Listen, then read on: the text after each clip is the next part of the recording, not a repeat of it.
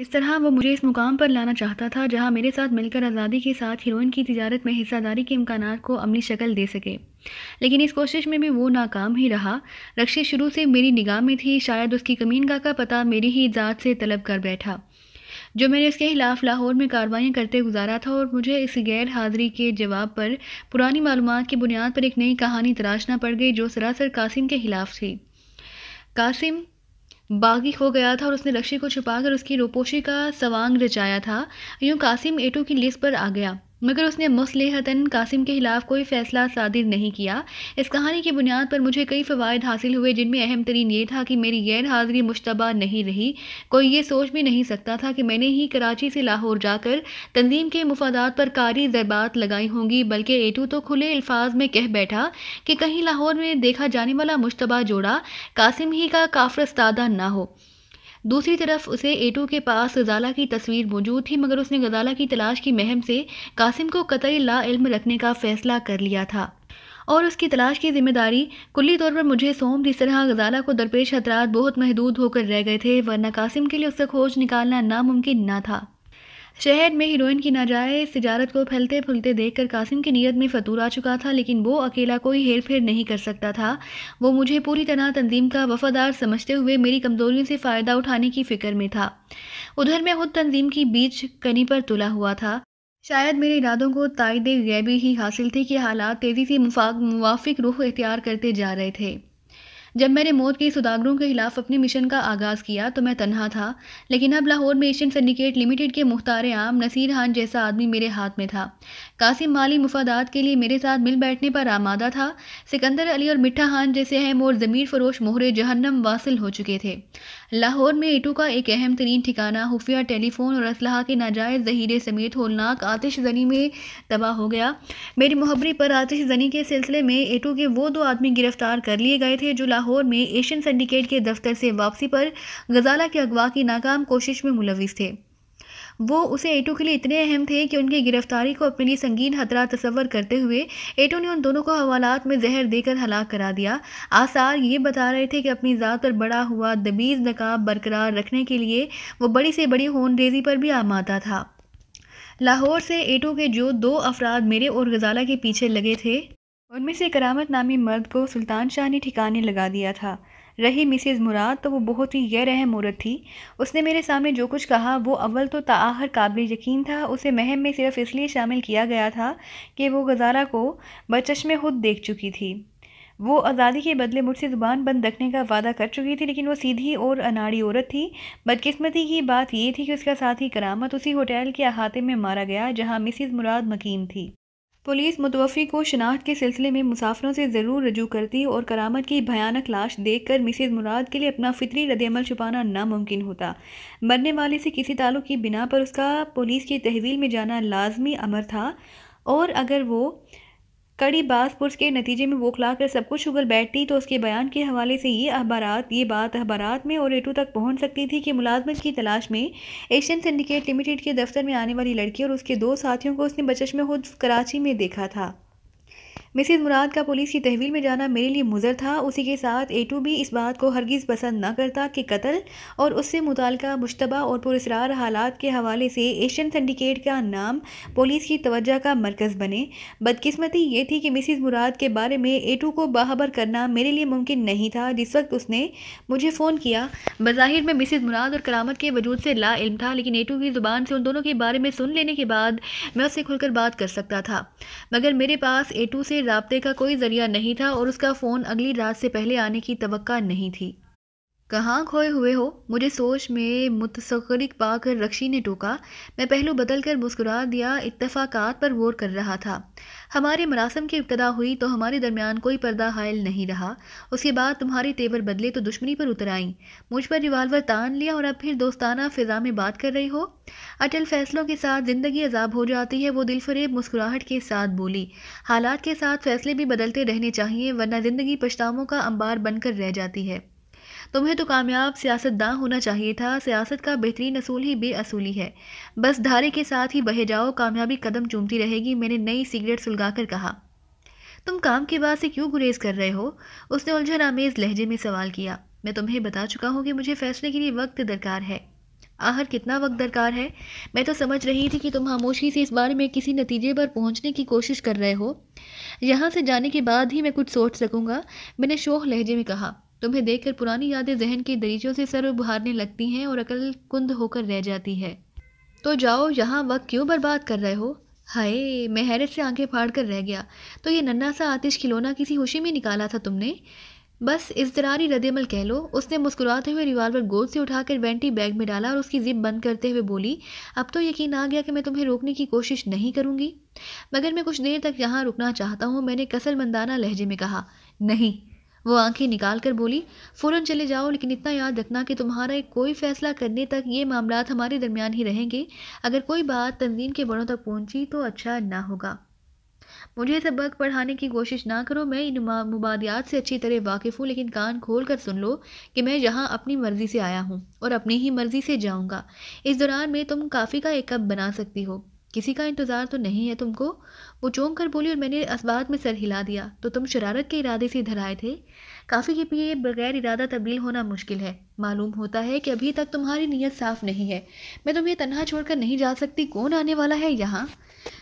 चलो, मैं भी किचन में साथ ही चलता हूँ। तीन प्यालियों का पानी तैयार करना, क्योंकि कासिम भी आने वाला ही होगा। कासिम उसकी आँखों में तहैयर भर आया, वो क्यों आएगा? तुम इतने यकीन के साथ कैसे कह सकते हो? आएगा तो ये सब उसी से पूछ लेना, मैंने उकताए हुए लहजे में कहा और सोफे से उठ खड़ा हुआ। चलो, मैं किचन में तुम्हारे हाथ बटाने की कोशिश करूँगा। वो अपनी जगह खड़ी रही, उसकी आँखों में तजब्जब झाँक रहा था। इससे कबल कि वो कोई जवाब देती। बाहर से आहनी फाटक के बजाय जाने की आवाज़ गूंजने लगी और वो चौंक पड़ी। शायद कासिम पहुँच गया। मैंने जल्दी से कहा, ये ये पुश, बेल को क्या हुआ जो दरवाज़ा पीटना पड़ता है? बच्चे बिला वजह तंग करते हैं, इसलिए तार निकलवा दिया है। वो जल्दी से बोली, तुम फाटक खोलोगे और मैं बरामदे से तुम पर निगाह रखूँगी। अगर आने वाला कोई और हुआ तो उसे दरवाजे ही से टाल देना। उसके खिलाफ अमल किया तो मुझसे बुरा कोई ना होगा। मुझ पर शुबा है तो तुम खुद ही देख लो। मैंने एहतजाज रामेज़ लहजे में कहा, चलो। वो मुझे नकासी के रास्ते धकेलते हुए गर्राए क्योंकि फाटक दोबारा पीटा जाने लगा था। कमरे से निकलकर हम दोनों बरामदे में आए तो चटचट की दो आवाज़ों के साथ पूरा बरामदा तारीकी में डूब गया। अब सिर्फ़ दो गेट लैंप रोशन रह गए थे जिनके गिर्द आलूद शीशों ने रोशनी को फाटक तक ही महदूद कर दिया था। ये क्या कर रही हो? मैंने पलट कर बौखलाए हुए लहजे में कहा, अंधेरे में किसी गमले से ठोकर लगी तो भेजा बाहर आ सकता है। बत्तियाँ रोशन करो फ़ौरन। जाओ। उसने मुझे पूरी कुवत से आगे धकेल दिया। अंधेरे के बायस मैं आने वाले की निगाहों से महफूज रहूँगी। ये तुम्हारे हक में भी बेहतर होगा, उसकी आवाज़ सरगोशियाना थी।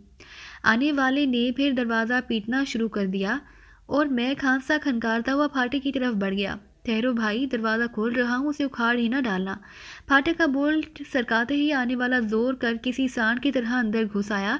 उसके दोनों हाथ जेब में थे, अंदर घुसते ही उसने दाहना हाथ जेब से निकाला और रोजनी पिस्तौल की नाल मेरी पसलियों में उड़ा दी। वो मकान इसके लिए देखा भाला था क्योंकि उसने बाएँ टांग से आने फाटक बंद किया और मेरी तरफ़ से निगाह हटाए बगैर बाएँ हाथ से फाटक का बोर्ड लगा दिया। गर्द आलूद शीशों में सिसकती हुई यरकान जदा रोशनी में चेहरे की हराशों के बावजूद मैंने उसके भयानक चेहरे को पहचान लिया, वो कासिम ही था और गालबन किसी के हाथों पिट कर आ रहा था। अंदर चलो, उसने मेरी पसलियों पर पिस्तौल की नाल का दबाव बढ़ाकर गर्राते हुए कहा आ गए हो तो अब यहाँ तुम्हारी कबर ही बनेगी। मैं कहीं नहीं भागा जा रहा। मैंने तकलीफ़ और चुभन से बेचैन होकर उसका हाथ एक तरफ़ झटक दिया और उसके इम्कानी रद्दमल से महफूज रहने के लिए बरामदे की तरफ़ चल दिया, जहाँ रक्षी ने कासिम को पहचान कर रोशनी कर दी थी। वो किसी गजबनाक शिकारी कुत्ते की तरह मेरे पीछे लगा रहा और मैं रक्षी के करीब से गुजरकर ड्राइंग रूम में दाखिल हो गया। ये यहाँ क्या कर रहा है? अंदर पहुँचते ही कासिम ने गजबनाक लहजे में रक्षी से सवाल किया जो उसके करीब खड़ी हुई थी। कासिम की दहकती हुई सफाक निगाहें मेरे चेहरे पर ही मरकूज थी। ये ये अचानक ही आया था। रक्षी उसकी हालत देखकर बौखलाती हुई बोली, मैंने इससे बात की है। हो सकता है कि हमारी तजवीज़ कबूल कर ही ले, मगर फैसले के लिए कुछ मोहलत चाहता है। ये दोगला है। वो नफ़रत आमेज़ लहजे में बोला, उस पर एतमाद नहीं किया जा सकता, फिर वो मुझसे मुहातिब हो गया। एटू को इस मकान का पता किसने दिया था? मेरे अलावा कौन दे सकता है? मैंने पुरसकून लहजे में कहा। मेरी यहाँ मौजूदगी ही इस सवाल का मस्कत जवाब है। उसे उकसा कर हो जहाँ क्यों दौड़े चले आए? रक्षी के तहफ़ के लिए। मैंने मकराना मुस्कुराहट के साथ कहा, मुझे डर था कि एटो की होशनोदी के लिए तुम उसे हलाक ही ना कर बैठो। मैं सिर्फ़ सर जंग का हाथमा चाहता हूँ जो मेरे और तुम्हारे दरमियान छिड़ी हुई है। मैं कहीं भागा नहीं जा रहा। आराम से बैठकर बात करो। तुम्हारी हालत हासी अबतर दिखाई दे रही है। एटू को तुमने क्या बताया था? यही कि रक्षी इस मकान में रूपोश है। मैंने बिला तामल जवाब दिया। रूपोशी का पस मंज़र तो ज़रूर बताया होगा तुमने। ज़रूरत ही पेश नहीं आई। वो मुख्तर और काम की बात सुनना चाहता था, पस मंज़र से उसे कोई दिलचस्पी नहीं थी। इस कमीनगी की क्या ज़रूरत थी? एटू की निगाहों में गिराना चाहते थे मुझे। गिराना चाहता तो यही बताता कि तुमने खुद ही रक्षी को छुपाया हुआ है। मैंने सिफाई के साथ झूठ बोला, लेकिन मैंने ये सब बताना ज़रूरी नहीं समझा, लेकिन मुझे क्या मालूम था कि तुमने उससे क्या बकवास की होगी। उसकी तस्दीक का कोई तो ज़रिया नहीं है। ना हो, मैंने बेपरवाही से कहा। यही कम है कि उसने फिर तुम ही से रजू किया है। रक्षी की रूपोशी में तुम्हारा नाम मुलविस होता तो उसी के साथ तुम भी मरदूद करार पाते और सज़ा देने का इख्तियार तुमसे छीन कर मुझे या किसी और को मुंतकिल कर दिया जाता। बात मुंतकी थी, वो सोच में पड़ गया, फिर सोफे पर बैठते हुए बोला, हो सकता है कि वो भी हम दोनों को घेर कर एक जगह मारने की कोई चाल चल रही हो। वो काम की बात करने से पहले पूरी तरह यकीन करना चाह रहा था कि मैंने एटू को उसके खिलाफ भड़काने की कोशिश नहीं की थी। चाल होती तो मैं रक्षी से मिलने की बजाय छुपकर तुम्हारी आमद का इंतज़ार करता, फिर सिर्फ़ दो गोलियाँ तुम दोनों को सुलाने के लिए काफ़ी होती, मगर मैं यहाँ हाल ही हाथ आया हूँ, रक्षी मेरी तलाशी ले चुकी है। लेकिन वो हाली हाथ तो नहीं था जिसने तुम्हारी कार में उस वक्त मेरा ताकुब करने की कोशिश की थी। जब तुम मुझ पर मसनू कातिलाना हमला करा के हुफजदा करने की कोशिश कर सकते हो तो मुझे किसने रोका है कि तुम पर सरेआम गोलियाँ बरसवाने की कोशिश ना करूँ? तुम्हारे मुसलिह आदमी अक्सर मेरा पीछा करते रहे। मैंने तो कभी उस पर बरहमी ज़ाहिर नहीं की, जब चाहा सरेआम उनकी गोशमाली कर डाली। आज मैंने भी यही किया है। वो भयानक अंदाज में हंसा, तुम्हारा आदमी कहीं पड़ा, अपने जख्मों को चाट रहा होगा। सुल्तान शाह के बारे में वो इतला मेरे लिए तशवीशनाक थी। कासिम जिसमानी तौर पर सुल्तान शाह से कहीं बरतर था। उसके चेहरे की हराशें ज़ाहिर कर रही थी कि तसादम मोहलत नहीं तो खून रेज ज़रूर रहा होगा। बात जल्दी ख़त्म करो, तुमने मेरा काम बढ़ा दिया है, मुझे वापसी से पहले अपने आदमी को भी देखना होगा। तुमने उसे कहाँ और किस हाल में छोड़ा है?